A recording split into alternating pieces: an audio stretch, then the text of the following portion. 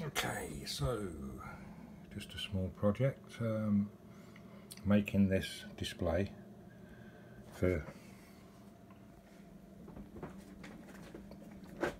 this. Well, I'm going to put it there and remove that and remove all that gubbins in there because I won't need that.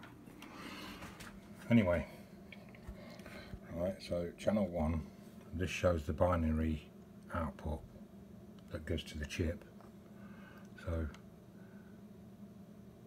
as you can see, UK FM 19, this is the binary output, so that'd be 110, 1, 1, all ones and 0 for channel 19, is that right?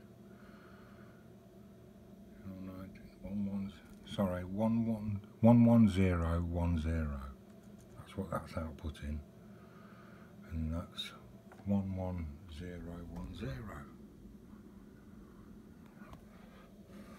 That's the binary number for channel 19 FM.